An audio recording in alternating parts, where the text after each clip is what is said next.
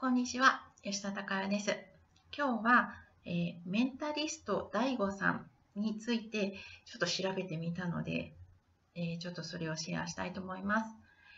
メンタリスト DAIGO さんを旧世紀学で見るとどうなるかと言いますと、彼は1986年の11月の22日、いい夫婦の日ですね、にお生まれになっています。で、えー、彼の星回りから言いますと、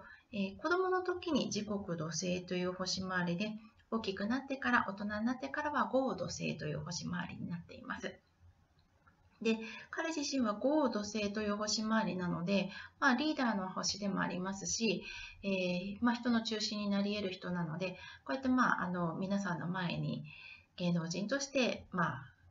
人に影響を与えてるっていうのはとてもあの彼らしい星回りかなというふうに思います。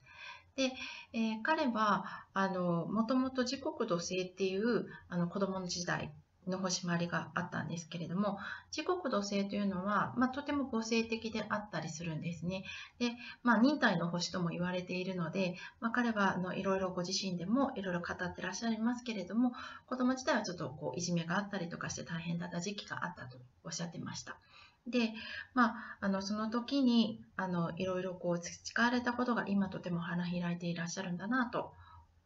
あのお見受けしております。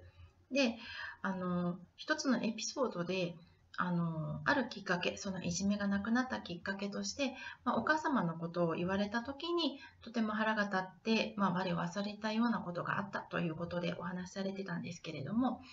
それはすごくこう、自国土星の人らしいなというふうに思いました。まあとても母性が強い人で、その、まあ、人に対するこう愛情がすごく深い人なので、やっぱりご家族の方を言われた時に自分のことよりもやはり、あの、とても大きく心が動いたんじゃないかなというふうにお見受けしました。はい。で、えーと、彼は、まあ、途中あの芸能界に入った後あの精神的にとても辛かった時期もあったようなんですけれどもまあ、生まれつき弱い臓器の中でそういうこう自律神経系だったりこうちょっと自分の体の調節をすることが難しい、えー、臓器臓器というか、まあ、臓器があるわけじゃないんですけれどもあのリンパ系であったりとか自律神経系とかっていうのが少し弱くなりやすいのでその辺りがまあ出てきたのかなというふうにちょっと推察をいたしました。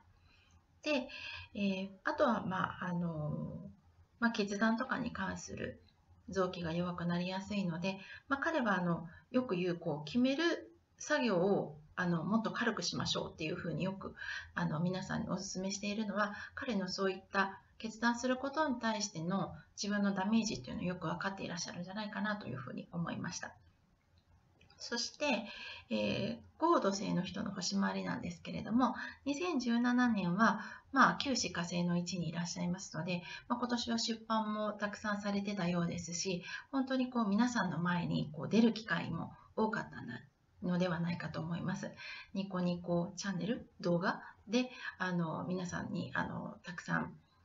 見ていただいているご様子から見てもあの旧歯科生でこう拡散するエネルギーというものが本当にうまく使っていらっしゃった年回りだったと思います。でそれに対して来年は少しこう1の一泊水星の星回りになりますので、今年みたいにこうちょっと花火なしさはちょっとなくなるかもしれません。来年はもっと自分の悩みを磨くところにこう中心を置いていただいたらいいんじゃないかなというふうに思われます。はい。まあそんな風に簡単に分析してみました。